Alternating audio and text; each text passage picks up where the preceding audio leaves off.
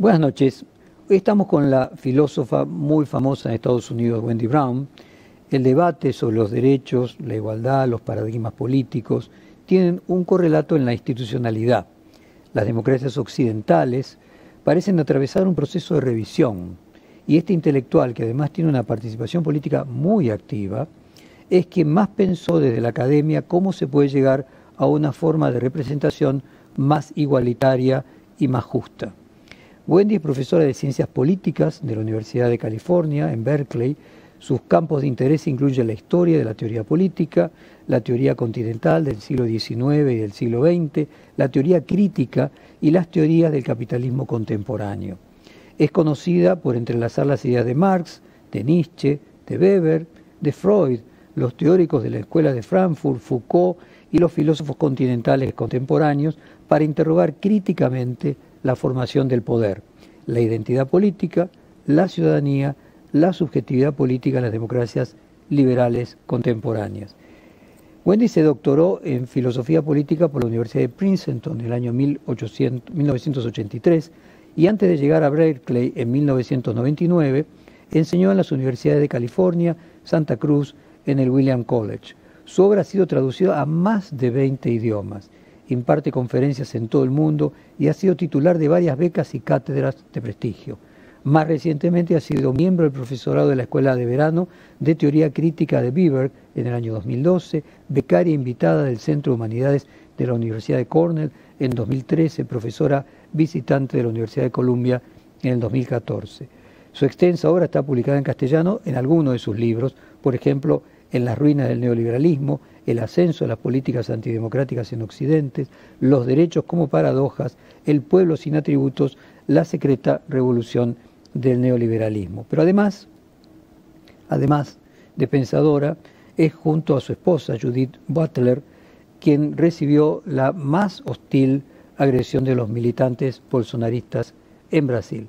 Así que bueno, vamos a comenzar preguntándole a Wendy sobre uno de sus libros, en su libro Pueblos sin atributos, usted escribe que la aseveración de que el neoliberalismo es profundamente destructivo para el carácter y el futuro de la democracia en cualquiera de sus formas tiene su premisa en un entendimiento de este, el neoliberalismo, como algo más que un conjunto de políticas económicas, como una ideología o una reconfiguración de la relación entre el Estado y la economía.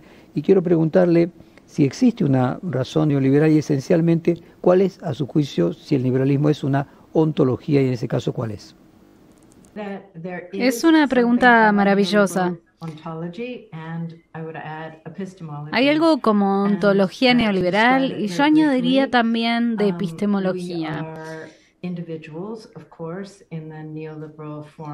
Tal como dice la forma neoliberal de la razón, somos individuos maximizadores de la economía, por un lado, y por otro, nos organizamos a través de los órdenes espontáneos de la economía y la moral tradicional.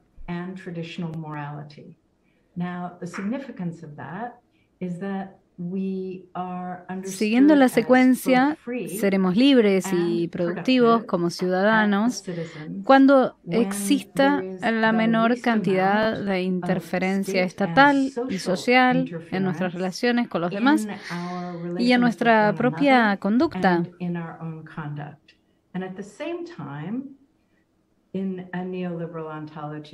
Al mismo tiempo, en una ontología neoliberal, los efectos del mercado espontáneo uh, y la moral tradicional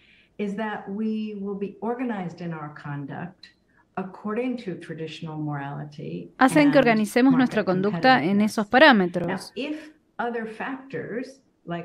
Si otros factores como la justicia social, los estados de bienestar y otras cosas por el estilo se vuelven predominantes, eso perturbaría aquel orden de los mercados y la moral.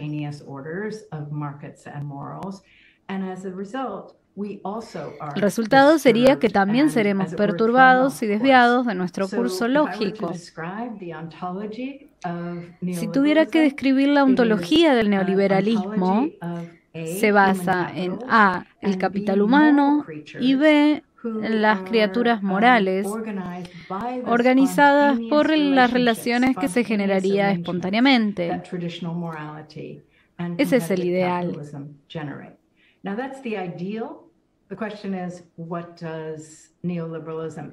La pregunta también que cabe hacerse es cómo es realmente el neoliberalismo o qué es realmente el neoliberalismo existente tal y como se ha desarrollado en América Latina y América del Norte, Europa y el resto del mundo. Wendy, el pensamiento conservador rescata a la ilustración como el modelo cultural y filosófico que le da base. ¿Qué quedó en el presente? Hagamos el recorrido del siglo XVIII al siglo XX de aquello de la ilustración. No mucho. y voy a explicar por qué. Uh, la ilustración prometió que a medida que nos desprendiésemos de las formas tradicionales de uh, autoridad, de la autoridad religiosa, de los modos tradicionales de uh, organización y nos convirtiéramos en criaturas plenamente razonadoras, también nos haríamos libres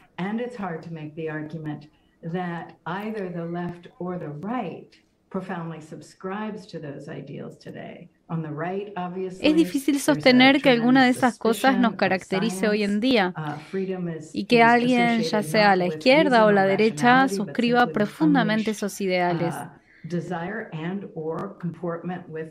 En la derecha hay una sospecha sobre la libertad de la uh, ciencia, que se asocia no solo con la razón o la racionalidad, sino con el deseo desatado o el comportamiento con los órdenes morales uh, tradicionales. Ah, la razón ya no es tratada ni por la izquierda ni por la derecha como fuerza uh, plenamente emancipadora. La promesa de la ilustración, a la que se aferran los que podríamos decir que están en el centro, uh, no es sostenida por los uh, extremos de ambos lados. En Ruinas, le voy a leer textualmente, usted dice, el fracaso a la hora de predecir, entender u oponerse efectivamente a estos acontecimientos se debe en parte a los cegadores supuestos sobre los valores e instituciones occidentales perennes, especialmente el progreso, la ilustración y la democracia liberal, y en parte a la extraña aglomeración de elementos de esa derecha en ascenso, su curiosa combinación de liberalismo, moralismo, autoritarismo, nacionalismo, odio al Estado, conservadurismo, cristiano y racista. ¿Cómo se pasó de un estamento a otro? Um, es una historia larga y complicada, pero al contar la historia creo que hay dos rasgos importantes en ella. Uno es que debemos reconocer que el mismo neoliberalismo como orden de gobierno de la razón desechó la idea de que los seres humanos se liberarían por convertirse en personas humanas educadas, racionales y razonables. Y en su lugar comenzó a tratarnos cada vez más a los seres humanos como mejor gobernados por los mercados y la moralidad que no pueden ser equiparados con la fuerza emancipadora de la razón pura.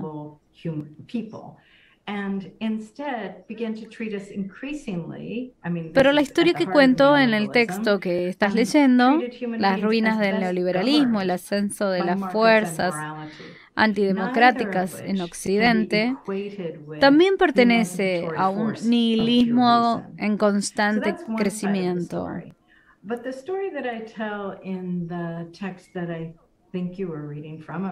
Es una historia um, larga y compleja, pero trataré de contarla muy brevemente. Si entendemos lo que ocurre con la ilustración y especialmente con el desafío a la autoridad religiosa y tradicional que supuso como el desplazamiento de Dios por la ciencia, desató una crisis narrada por pensadores tan diversos como Friedrich Nietzsche, Fyodor Dostoyevsky, Leon Tolstoy y otros.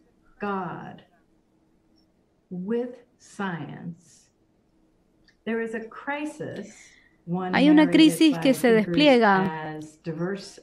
Lo que la ciencia puede hacer es explicar cómo funcionan las cosas, por qué el mundo es como es a nivel biológico, físico, químico, matemático. Pero no puede hacer decirnos qué debemos valorar, qué es verdad sobre los seres humanos. No puede decirnos qué es lo que hace que la vida merezca la pena. Así, lo que la religión y la tradición proporcionaron durante tantos siglos, no solo en Occidente, sino en otros lugares, se desmorona.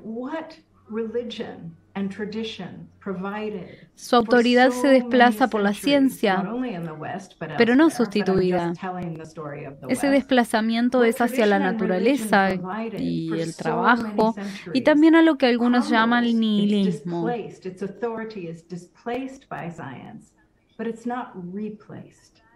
Uno de los efectos importantes es que la propia verdad empieza a tambalearse y a temblar. La cuestión del valor comienza a desintegrarse y a diversificarse, de modo que un conjunto de valores ya no mantienen unida a una sociedad. En su lugar, los valores comienzan a multiplicarse y aparece una creciente sospecha sobre quién y qué tiene o genera la verdad y una duda sobre la posibilidad misma de que hay una forma verdadera de vivir.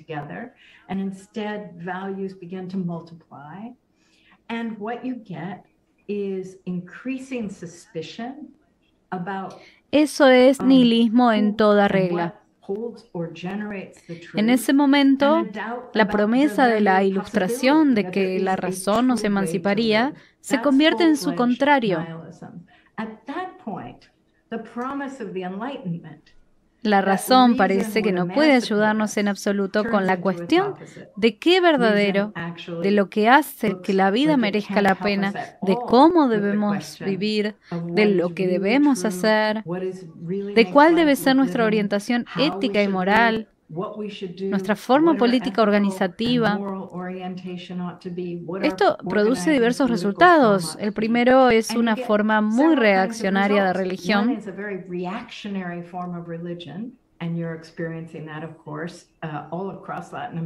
Es algo que sucede en América Latina, en América del Norte. La religión ya no se ocupa de probarse a sí misma o de ser siquiera consistente. Um, se establece una forma de dictar cómo se debe vivir la gente a nivel moral y político y pretende tratar de resucitar una autoridad en Dios carente de fundamentos. Es una forma instrumentalizada de la religión y vemos esa acción instrumentalizada en todas partes. Es muy omnipresente en los Estados Unidos, pero creo que también se ve en Brasil, de Jair Bolsonaro, en el ascenso de la derecha en Argentina, Chile y otros lugares.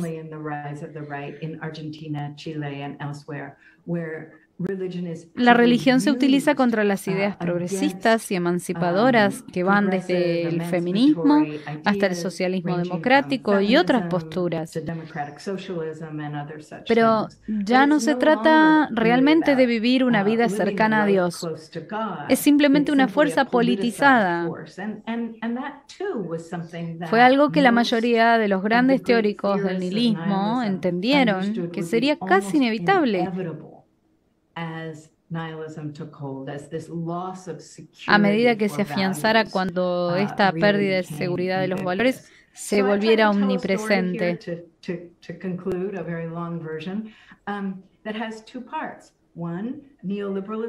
El neoliberalismo simplemente nos reduce a criaturas de los mercados y de la moral sin instalar la razón y una especie de uh, libertad autoelaborada a través de hacer la propia vida. La gran promesa del liberalismo democrático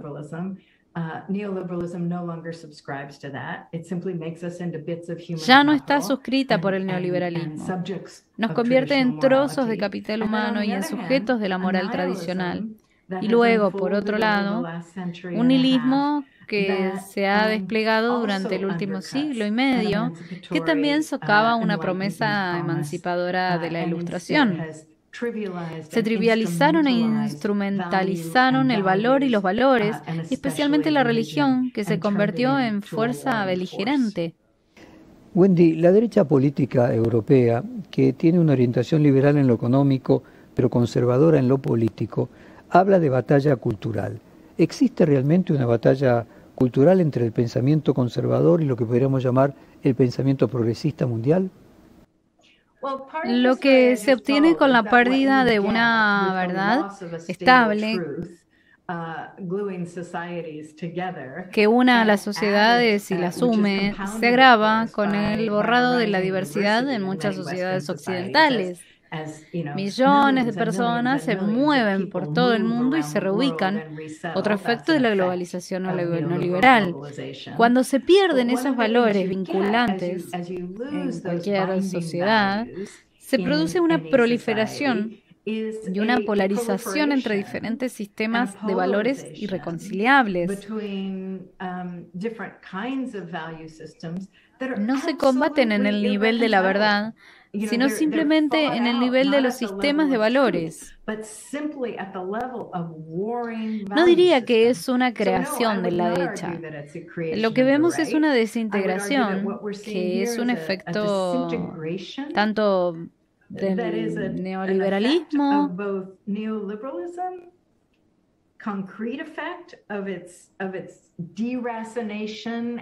efecto concreto del um, empobrecimiento de las clases medias y trabajadoras tradicionales. Los países capitalistas de todo el mundo buscan mano de obra barata donde quiera que puedan. Otro efecto es la pérdida de la noción de bienes públicos comunes, de una sociedad vivida en común. Todas esas son cosas que el neoliberalismo atacó. Margaret Thatcher lo dijo maravillosamente. No existe la sociedad, Solo hay individuos. No se puede repetir esa cita lo suficiente porque lo que ella expresó tan bellamente fue el esfuerzo neoliberal por desintegrar literalmente no solo la idea de sociedad, sino la práctica de lo social. En este contexto de nihilismo y valores vinculados de cualquier fundamento sólido, es imposible no tener tipos de choque entre el valor y la instrumentación del valor y los objetivos políticos para fines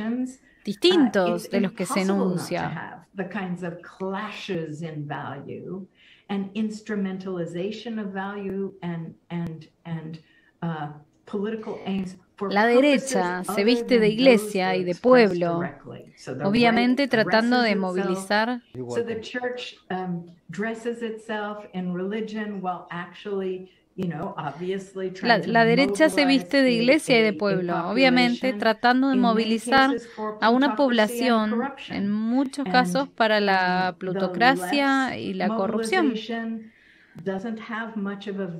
Y la movilización de la izquierda no tiene mucha visibilidad, aunque tenga muchas cosas por las que protestar. Así estamos con estas sociedades desintegradas y una diversificación de valores y posiciones que son en gran medida irreconciliables. En un reportaje de esta misma serie, el psicoanalista y escritor argentino Jorge Alemán, que es representante del pensamiento populista de izquierda en Latinoamérica y además eh, seguidor eh, de Lacan y discípulo de Laclau, dice que las derechas más conservadoras pudieron captar el afán de rebeldía de, las, de los más jóvenes y de los más eh, grandes. Y la pregunta es si eh, tiene un problema la, la, izquierda de solemnidad, incluso de melancolía.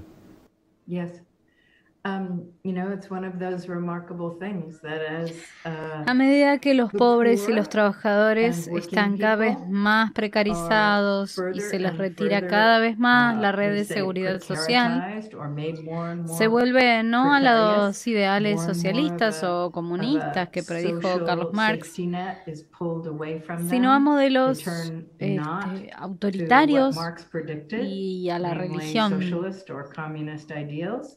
Uh, la fuerza social que más crece en el mundo es el cristianismo evangélico que en Argentina se une a la Iglesia Católica. which of course in your country unites with the Catholic Church for all kinds of purposes. Algunos dicen um, que es porque la izquierda representa demasiado a la política de identidad, el feminismo, la política LGTBIQ, la política antirracista, y que lo que los pobres, mientras que las clases trabajadoras necesitan o quieren es simplemente la seguridad económica. Pero como la derecha no les ofrece realmente eso, no creo que ese análisis sea muy convincente.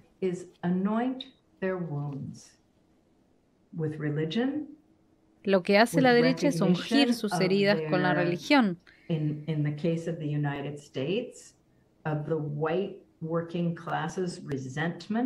En Estados Unidos utiliza el resentimiento de las clases trabajadoras blancas contra los que creen que les están quitando sus poderes, su virilidad, su fuerza y su derecho, su sentido de pertenencia. Eso le salió muy bien a la derecha y muy mal a la izquierda. Ofrecer a los pobres y a los trabajadores una satisfacción emocional y teológica en lugar de pan, en lugar de bienestar económico and a great deal of emotional theological satisfaction in place of bread. In place y la izquierda necesita ser buena en eso. And the left needs to get good at that. The left needs to learn how to develop la izquierda tiene que aprender a desarrollar un atractivo espiritual y emocional que sea convincente que tenga una visión que tenga sentido para los corazones de la gente, no solo para sus cerebros. Debe aliviar las heridas de la gente, no solo para lo que se imagina que son sus intereses. Y la derecha ha sido mucho mejor en esto durante los últimos 30 años. Wendy, eh, en Buenos Aires eh, Freud es muy popular y se dice habitualmente quizás sea una exageración que tenemos más psicoanalistas eh, por habitante que la propia Austria. Pero la pregunta es si usted cree que el psicoanálisis contribuyó a crear prejuicios en la cuestión de género.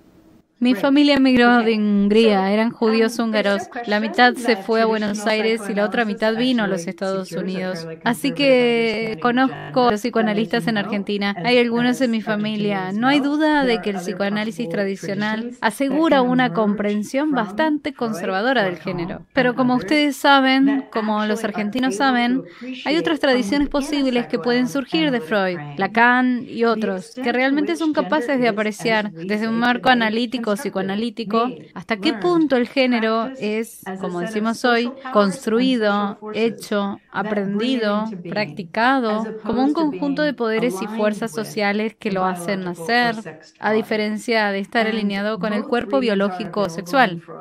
Ambas lecturas están disponibles en Freud, ambas salen del psicoanálisis freudiano.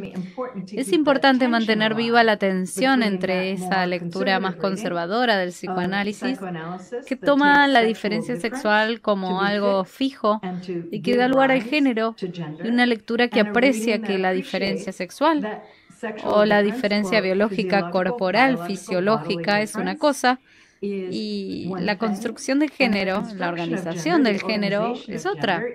Incluso si te quedas con los complejos edípicos de Electra, tradicionales, con las nociones tradicionales señaladas de lo que ocurre en la fase predípica, en la infancia, y la fase edípica y demás, es posible apreciar hasta qué punto el género es una construcción social familiar y la incidencia de lo que ahora llamaríamos patriarcado. Así que me parece que el psicoanálisis tiene un gran campo para operar ahí uh, y que no tiene por qué estar asociado simplemente a una visión conservadora del género sexual. Bueno, ya que usted lo contó, no, no, puedo omitir preguntarle, cuéntenos un poco sobre su familia en la Argentina, vinieron, siguieron, se quedaron. Um, Algunos de ellos siguen allí. Uh, Algunos de ellos están. Uh, Se convirtieron en arquitectos uh, principalmente, pero también hicieron otras cosas, uh, especialmente en Buenos Aires. La mayoría de ellos se fue de Hungría entre las guerras durante el auge del antisemitismo y el fascismo en Europa. Se quedaron en Buenos Aires, todavía están en Buenos Aires. El nombre es Kalmay. Otros vinieron a Estados Unidos nuestra familia está dividida.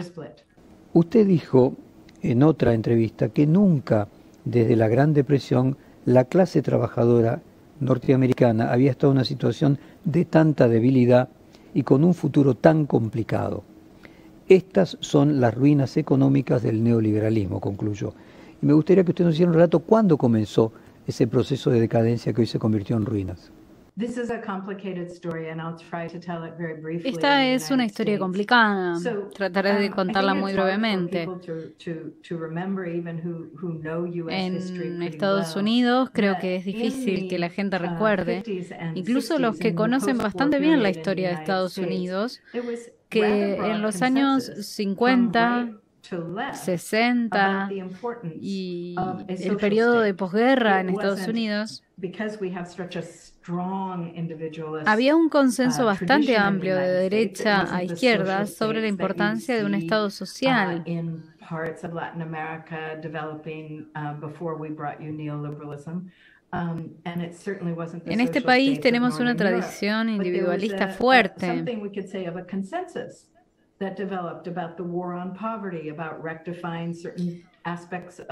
no era el estado social que se ve en regiones de América Latina antes de que les enviáramos el neoliberalismo. Tampoco eran los estados sociales del norte de Europa. Pero había algo que podríamos decir sobre un consenso que se desarrolló sobre la guerra contra la pobreza, la rectificación de ciertos aspectos de la injusticia uh, racial, reparando las secuelas de la esclavitud aquí, con la continua subyugación um, extrema de los negros en el sur. Fue un consenso, no absoluto. Los gusanos de la reacción empiezan a agitarse cuando se lanzan estos programas.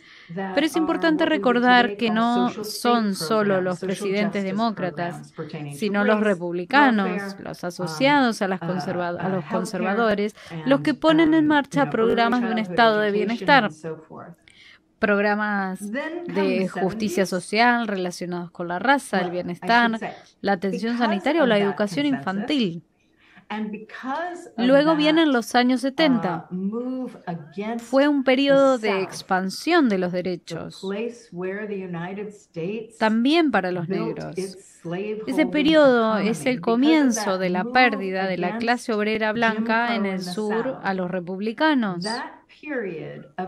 Es cuando una región de este país, que siempre había sido sólidamente demócrata, racista y democrática en sus inclinaciones políticas, comenzó a ir en otra dirección.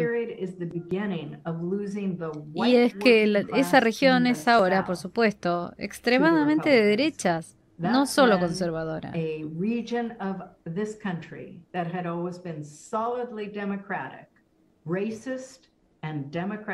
Um, Esa sería la palabra equivocada. Esta es la tierra de la negación del cambio climático y de la política antiabortista. Es el extremo.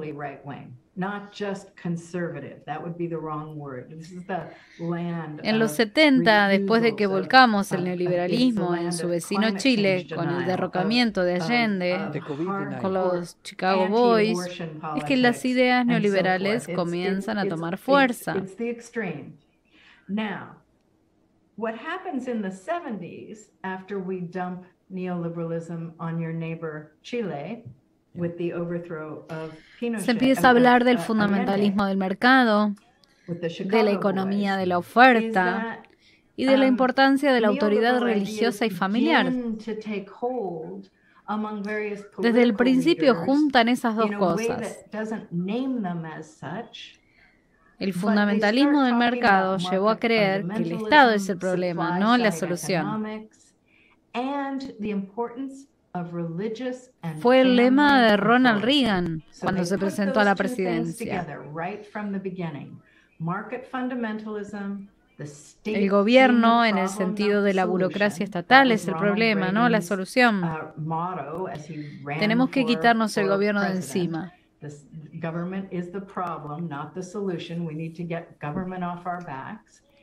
And at the same time, we need to strengthen al mismo tiempo, debemos fortalecer la autoridad en las familias y fortalecer la libertad religiosa, o lo que realmente equivale a la autoridad religiosa.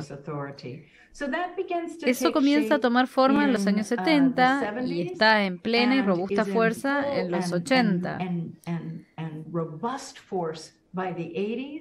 But one of the effects, of course, is that as pero uno de los efectos, por supuesto, es que a medida que el neoliberalismo se globaliza, y no solo se afianza en Estados Unidos, los sindicatos se rompen. La clase trabajadora pierde ingresos y beneficios seguros pierde, pierde su capacidad de negociar y proteger los puestos de trabajo. Um, Las empresas empiezan a irse al extranjero en busca de mano de obra barata. y la clase trabajadora blanca piensa que esto ocurre al mismo tiempo que esa clase trabajadora está siendo alimentada con una dieta constante de racismo por parte de la derecha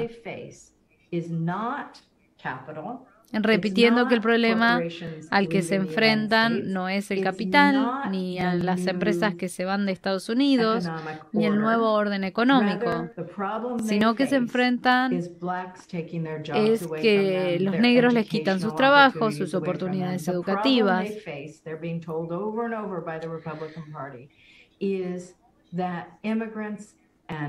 Um, domestic minorities, blacks especially, are getting a leg up el problema al que se enfrentan, que el Partido Republicano les repite una y otra vez, es que los inmigrantes y las minorías nacionales, especialmente los negros, están teniendo una ventaja y están siendo empujados hacia abajo. El neoliberalismo se está afianzando en Estados Unidos y está demoliendo la seguridad y el futuro de la clase trabajadora, los pobres y la clase media y la clase media. Y al mismo tiempo, a esa misma población se le dice una y otra vez que la economía no es el problema. El problema es un partido demócrata que se dedica a regalar y proteger no a los blancos, sino a los demás. Las feministas se convierten también en parte del problema porque se entiende que están destruyendo la familia y también que están quitando oportunidades a los hombres que entonces se sienten enmasculados, castrados, débiles, destronados, expulsados de su lugar, del pedestal al que pertenecen. Todo eso allana el camino para que una clase media y trabajadora blanca cada vez esté más enfadada, resentida, rencorosa e inclinada hacia una agenda antidemocrática, antiprogresista y antijusticia social, y reclutada para ello por una organización cultural y política muy eficaz por parte de la derecha. Wendy Brown, hacemos un corte para unos avisos y ya volvemos.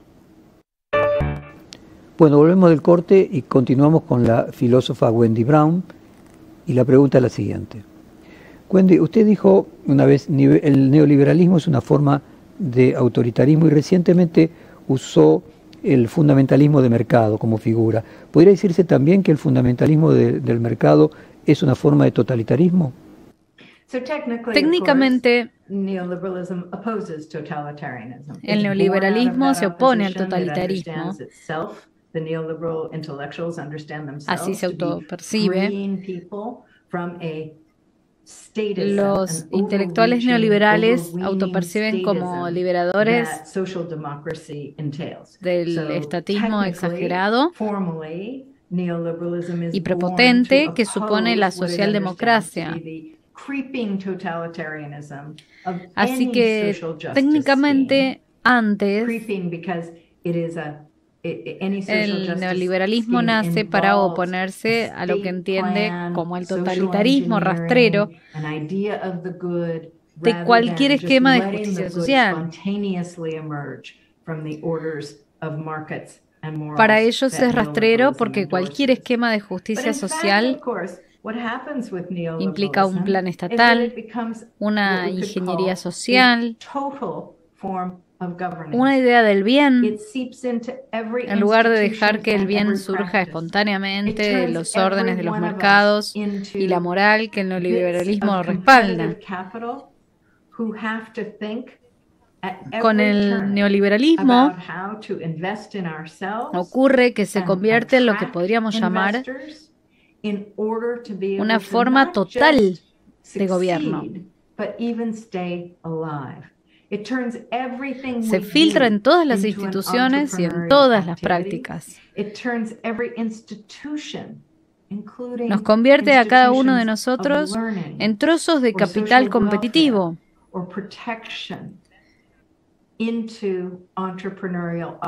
Tenemos que pensar en todo momento en cómo invertir en nosotros mismos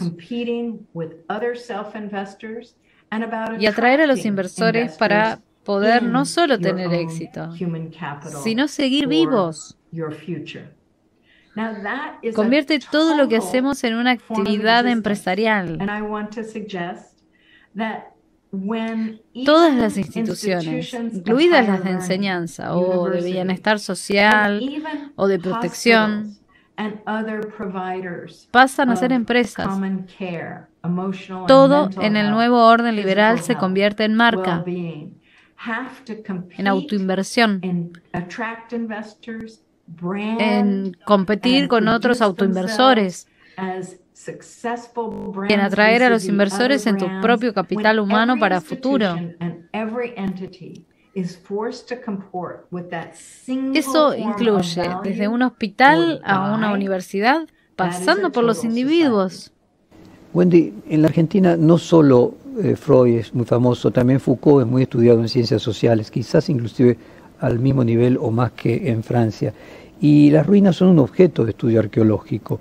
¿Podríamos decir de que eh, la mirada y las ideas de Foucault sobre el liberalismo son las más útiles para poder interpretar estas ruinas? Para mí fue enormemente útil. Es a partir de Foucault que fui alertada de hasta qué punto el neoliberalismo es más que una política económica.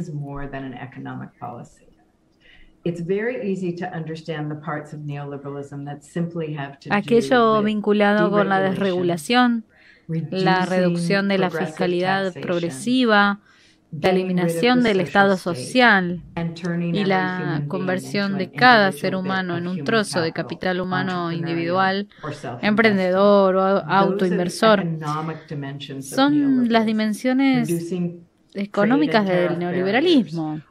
reducir las barreras comerciales y arancelarias, abrir los canales por los que el capital puede fluir libremente y potenciarse al máximo.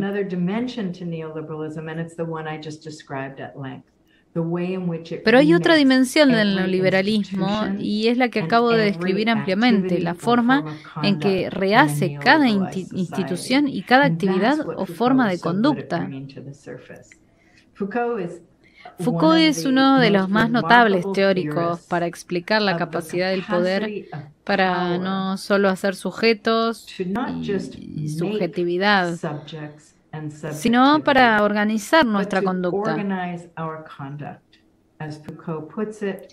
Como él dice, la mentalidad de gobierno, la forma de gobernar que representa algo como el neoliberalismo es una forma de conducir nuestra conducta. Y no hay periodista, ni profesor, ni cuidador de niños que no lo comprenda. Una vez que vemos cómo el neoliberalismo conduce nuestra conducta, lo descubrimos en todas partes, como escrito, también en nuestra vida social y de pareja. Lo vemos en la forma en que criamos a nuestros hijos, en cómo construimos amistades y redes sociales.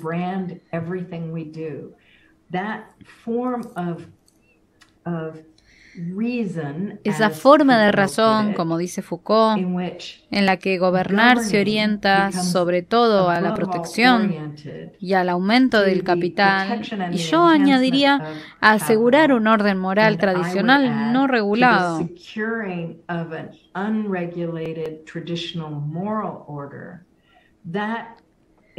Es lo que Foucault nos hace ver como una parte crucial de la neoliberalización de la sociedad.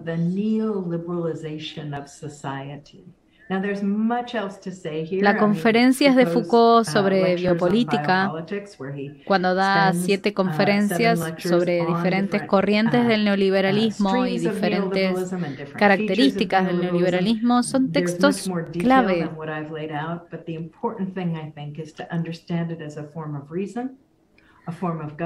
Hay muchos más detalles de los que he expuesto, pero lo importante creo es entenderlo como una forma de razón, una forma de gobernar, una forma de orquestación y construcción de la propia naturaleza de la sociedad, de la relación Estado-sujeto y sobre todo una forma de entender al ser humano en relación consigo mismo y en relación con los demás. Es mucho más que economía. Lo que es fascinante es que Margaret Thatcher entendió esto maravillosamente. En un momento dado dijo que la economía es el método, pero el objetivo es rehacer el alma.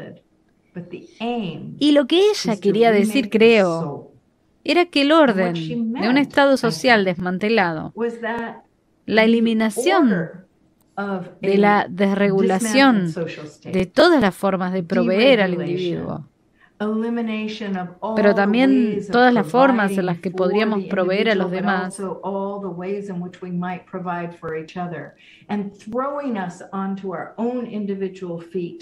y lanzarnos a sobrevivir o morir. La economía era el método para hacer todo eso, pero el objetivo era convertir a los seres humanos en personas diferentes a los que habían sido en la socialdemocracia. El objetivo era, como decía el socialista, hacer una mujer nueva y un hombre nuevo. Y ahora añadiría que esa criatura no binaria nueva. El objetivo es personas que se ocupen solo de sí mismas, o como dijo Thatcher en un momento dado, de sí mismas y de sus familias y nada más.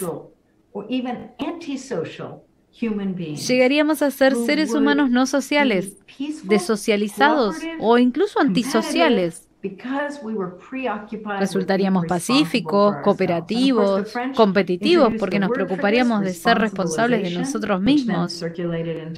Y por supuesto, los franceses introdujeron una palabra para esta responsabilización que luego circuló por casi um, todas las lenguas. La tarea, la forma de neoliberalizar el alma y no solo la conducta económica era responsabilizar al individuo para hacerlo totalmente responsable de cada rasgo de su existencia.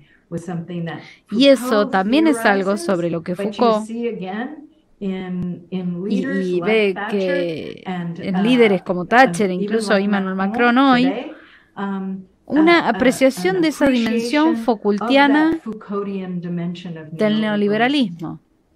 Le voy a leer un párrafo suyo. Usted dijo, sugiero que lo que estamos viendo es una especie de Frankenstein neoliberal en este momento. Se trata de un monstruo, una creación que no estaba en el diseño del neoliberalismo, pero que ahora es de forma bastante evidente uno de sus efectos. Y yo quiero preguntarle si la inequidad es el principal problema de esa imprevisión neoliberal en su momento de nacimiento. La desigualdad no es algo inevitable ni inesperado. Los neoliberales honestos sabían que lo que pretendían era una sociedad en la que la desigualdad sería el resultado.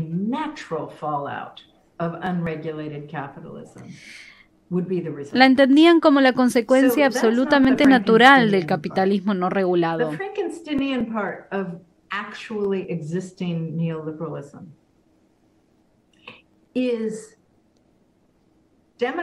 Lo frankensteiniano del neoliberalismo realmente existente es la cantidad de líderes demagógicos capaces de movilizar a las masas afectivamente energizadas y ávidas de una forma de solidaridad social y de poder social.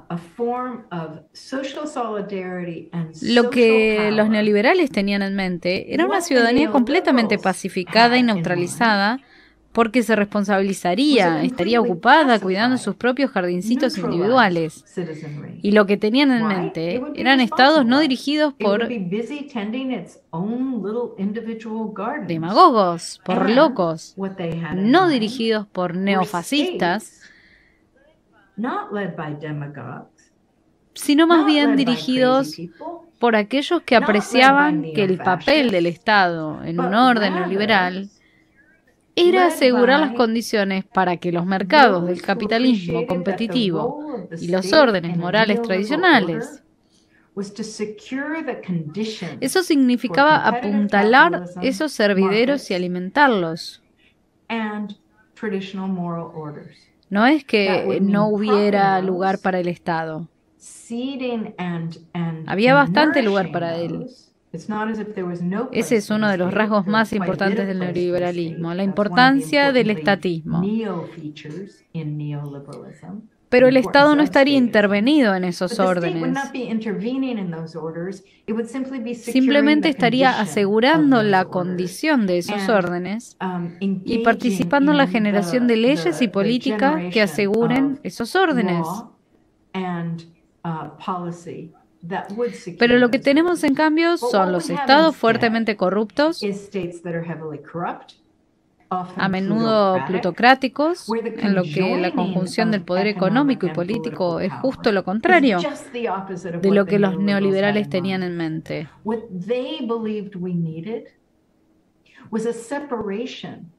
Lo que creían que necesitábamos era una separación entre el poder económico y el poder político que se fundían en las socialdemocracias. Querían separar los mercados de los estados, asegurar una especie de flujo entre ellos y asegurarse de que los estados entendieran su papel adecuado, que era asegurar las condiciones económicas de crecimiento y competitividad por un lado y asegurar las condiciones del orden moral tradicional por otro. Hoy tenemos otra cosa, masas con ira, líderes demagógicos, órdenes plutocráticos y estados en los que las funciones del poder económico y político nunca han sido mayores. En Francia, la mayoría de las opciones electorales son de lo que podríamos decir el espectro más duro de la derecha. En Estados Unidos el Partido Republicano está cooptado en gran parte por Donald Trump. En Chile, Jorge Katz tiene muchas chances de triunfar en las próximas elecciones en la segunda vuelta en diciembre. En Brasil, también cerca de Argentina, gobierna Jair Bolsonaro y Víctor Orbán en Hungría. ¿Se puede decir que la ultraderecha pueda ser peligrosamente el paso siguiente del paradigma neoliberal? Lo que argumenté en las ruinas del neoliberalismo es que la formación de derecha en particular es en gran medida una emergencia del neoliberalismo. Al mismo tiempo, se volvió contra ciertos preceptos del neoliberalismo.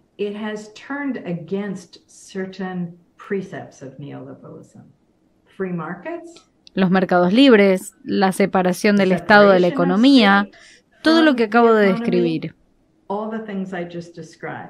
So we have something that um, William Callison has called mutant Así que tenemos algo que uh, Wayne Carlson llamó has some neoliberalismo mutante. La libertad Uh, but extrema en su corazón, la moral tradicional y una afirmación del capitalismo son objetivos, pero lo hace en una forma neofascista.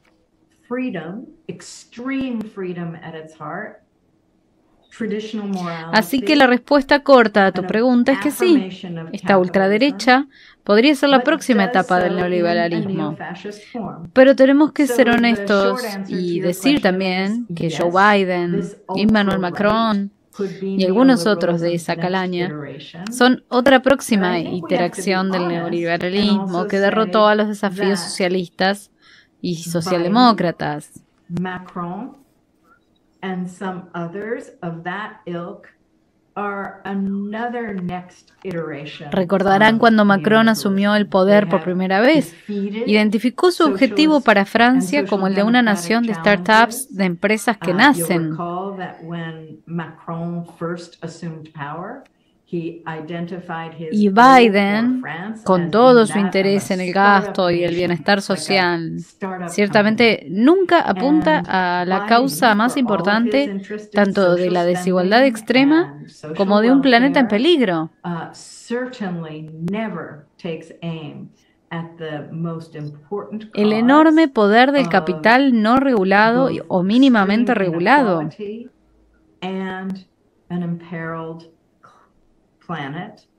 Está ansioso por grabar el capital. Pero se habla muy poco de regularlo severamente, ni hablar de nacionalizarlo.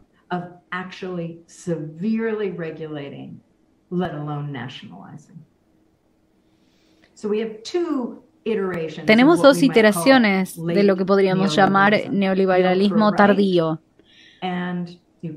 La ultraderecha y el que en diferentes países uh, tiene diferentes nombres. Pero el centro moderado o el centro triangulado uh, o la izquierda liberal antisocialista de centro.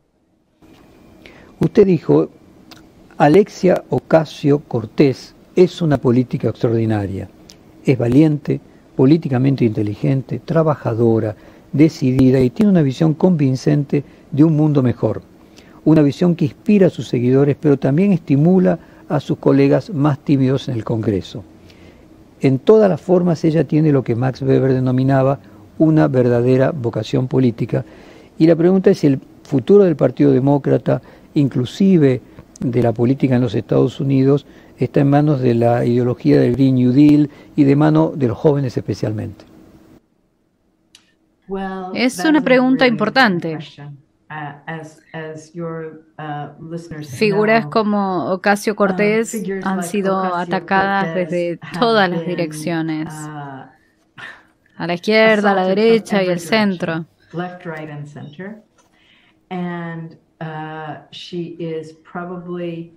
Y probablemente sea menos querida por sus compatriotas inmediatos en el Partido Demócrata que in incluso por la derecha. Así que la pregunta de si hay un futuro en las in instituciones políticas principales para gente como Ocasio Cortés y alguno de sus um, compinches es lícita. Pero la pregunta también abre algo de lo que no hemos hablado en absoluto, que es la tremenda energía en los movimientos social sociales, especialmente los social movimientos sociales organizados por los jóvenes de hoy. Nos hemos centrado casi exclusivamente en la movilización de la derecha.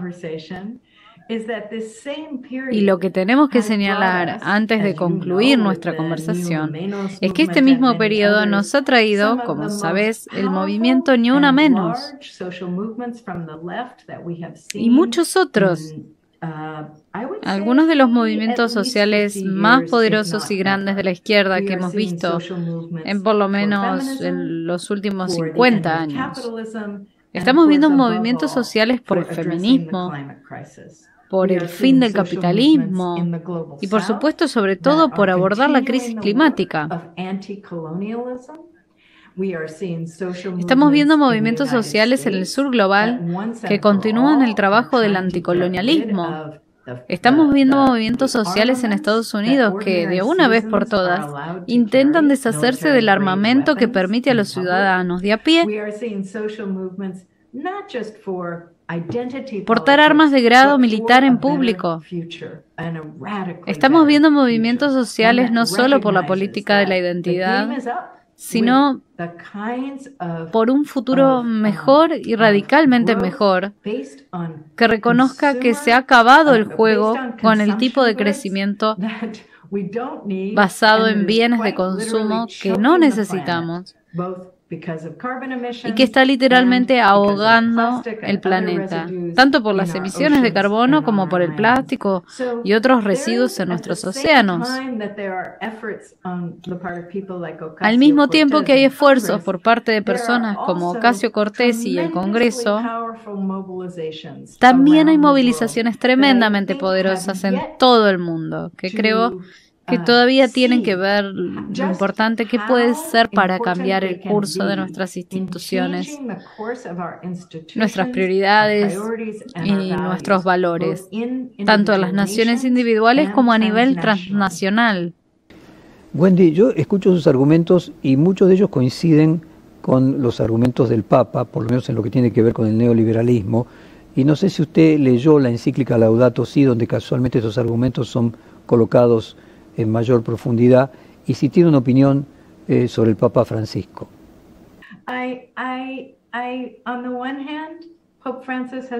El Papa Francisco es enormemente importante en temas como el cambio climático, en temas como las devastaciones del capitalismo global neoliberal.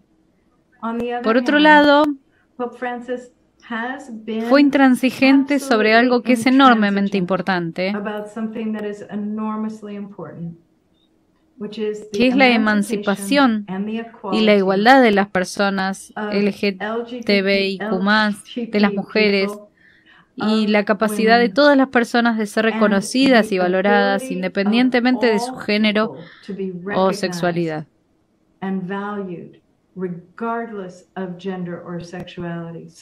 Tenemos esta extraña combinación en este extraordinario Papa, que es una profunda compasión por los pobres y los vulnerables, y la profunda creencia de que otro mundo es posible, y un conservadurismo en torno a algunas cuestiones sexuales y de género que están matando a la gente.